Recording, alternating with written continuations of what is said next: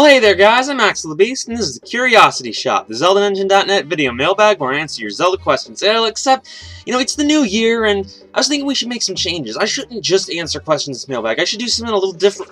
Diff, diff, there's a page full of questions right here. I can never resist answering questions.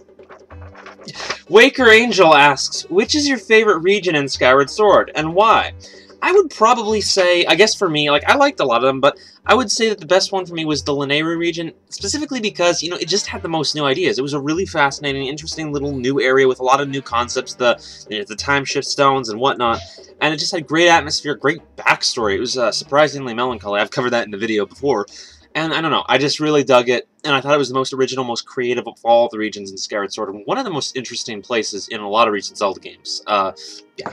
Tell me your guys' favorite uh, region in Skyward, in Skyward Sword, though, in, in the comments. Nick Michales... Mi Nick... I, I can do this. Um, Nick Michaleski uh, asks... Oh, he asks Mossies and all the ZD staff. Dear Mossies and all of the ZD staff, I have been watching almost all of your videos, but I do have a question. Do you think that they will ever have a Zelda game that has all parts of the storyline in it, not just parts? All parts of the storyline in it, not just parts. Well, not Mossies, or the rest of the ZD staff. My answer is yes.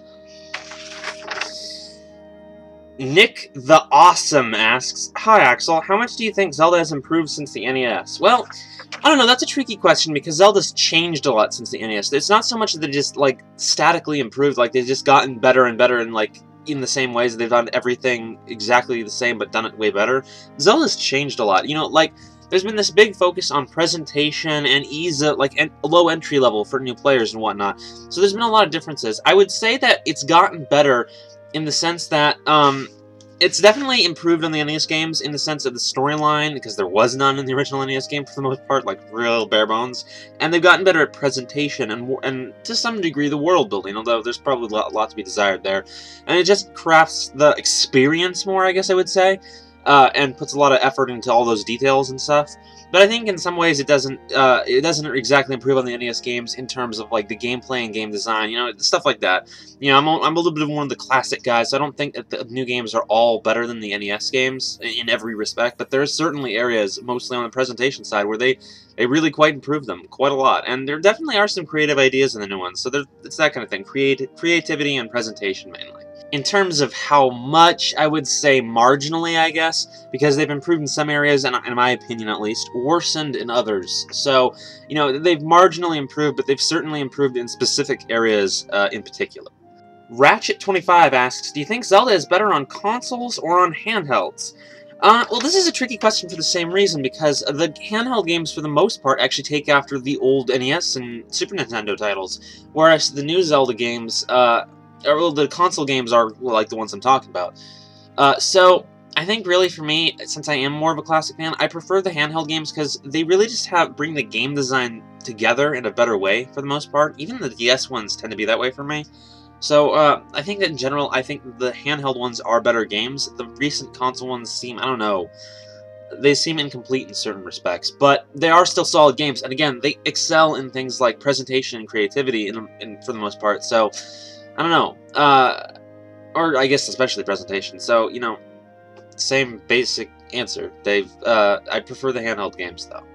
Zora Twilight asks, what would you think of a Doomsday Zelda game where Hyrule is ending?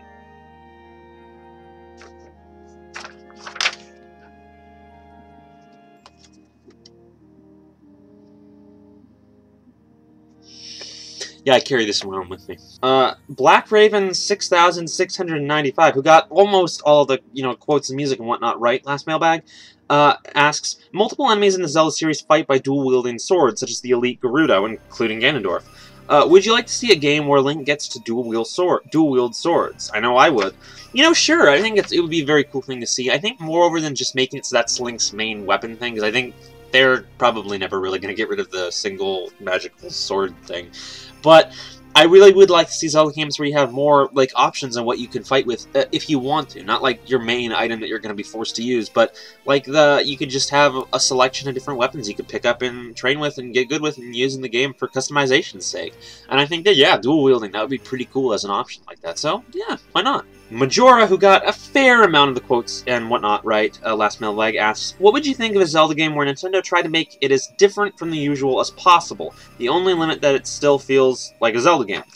Uh, you know, I think that, you know, of course it's gotta still feel like Zelda, that's the key point of it being a Zelda game, but, uh, I think that the tricky thing here is, is that if you're making a Zelda game for the sole purpose of making it as different as possible from a Zelda game while still retaining what makes it Zelda, I think that's sort of what's going to end up making it not feel like Zelda. Because really, Nintendo, they just make these games, they, they make them uh, uh gameplay based, they make them to be fun, they make them to be interesting gameplay experiences. They're not thinking about, oh, how do I change this? The Zelda series is pretty successful, so they're mostly going to be trying to, you know, do the things that are working. And uh, I just think that if you're going to spend a lot of time trying to make it different from other Zelda games, then why are you making a Zelda game? Because that's that's that is the practice of trying to get away from what makes it Zelda.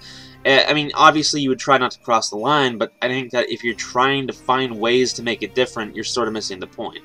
It should be different if it's natural to make it different, and that's what works for the ideas that you're using. Hephaestus asks, what direction would you take Zelda in for the Wii U gameplay-wise? Uh, what features would you want for the gamepad, or would you like to use the Wii Motion Plus again, like in Skyward Sword? This is a really hard question for me, because I really enjoyed the Wii Motion Plus, and, you know, maybe it could have been refined a little bit, but it was just such a great control scheme to me, and I, I just really enjoyed it. I really want to see it again very badly, especially since certain control aspects like, I don't know, the sword beam mechanics with Skyward Strike, or more particularly the swimming, were a little underused. But at the same time, I really would like to see a, a, new control scheme based on the new controller. You know, it's like, why not use the new controller? So, I don't have any specific ideas on what they could do. Inventory manage management will be an obvious thing. Maybe some kind of wacky telekinesis thing or some kind of other weird world manipulation power that you can use the touchpad and whatnot for. I don't know. But uh, bottom line is, it would be interesting to see something new with the gamepad, but also, I, I really want the motion controls. so I absolutely pretty much refuse to touch this issue because I can't decide which I want more. I kind of want them both. We could have the gamepad and just hold it like this, and then we just, like, we, we hold the, the Wiimote with it, and we just, that's terrible. So I don't know. Mike asks, Who is the old man with the Triforce of Courage at the end of Zelda 2, The Adventure of Link, after you defeat Link's Shadow? This has bugged me for the past 20 years. No one has ever seemed to address this question, which seems odd considering he holds the Triforce of Courage. Well, it's really just called the Old Man or the Triforce Keeper, and it's really never gone into at all. Like, really, the reason no one goes into it is because no one goes into it, you know what I'm saying? Uh, really, it's an untouched bit of the story, because, as I said earlier, it's Zelda games just has bare bones story. So, they, it's just not something they've touched on, and no one really has the answer.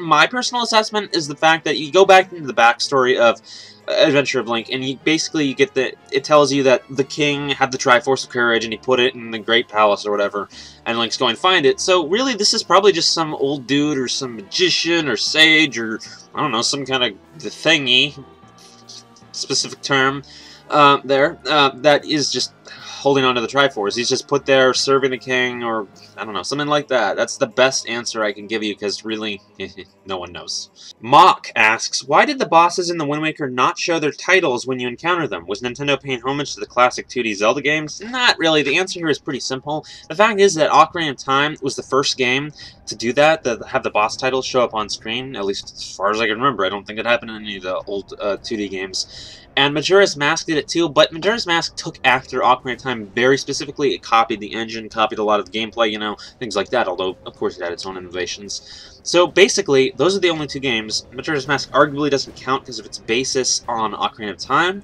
So, one major, one, like, one game engine, let's say, before the Wind Waker it wasn't a precedent yet. It wasn't until, arguably, until like uh, Twilight Princess started doing. So that's the best. That's the simple answer there. All right, last question. Phoenix asks, in Skyward Sword, do you think it was a good idea that they mixed up the classic elements like forest, fire, and water, and traded out the water element for a more deserty area? I think you mean mix up, you mean by the order, which is, yeah, the, the putting them out of order, the, out of the classic order was cool. I don't think it matters a lot, but it's nice to see a little variety and a little effort put into making it its own thing, you know? And, uh, you know, I think that the, uh, there were still, like, some water aspects left in the Lanayru region, but yeah, I think that's interesting that they experimented a lot with that, and that's what I like about the Lanayru region, that they really made it into a new idea. And I, would like to see more of that in the Zelda games. I, I, definitely don't mind them still having the old concepts, and because they're they're basic terrain concepts. There's always different kinds of forests, but there's usually a forest because you know there kind of are forests out there in the world. But in general, I'd like yes, I would like to see more like this. I'd like to see more of a uh, a mix of the new kinds of concepts that we don't see in Zelda specifically, and uh, a lot of the classic concepts. It'd be cool to see a little more variation in that way. Alright guys, that's it for this time. Be sure to send your questions to the contact information in the description, and I'll see you guys later. Maybe evil forces have been tearing at Hyrule for so long that it's... Wait, I forgot. Zora Twilight asks, what do you... What... It's really annoying trying to get this thing to stay, you know, straight!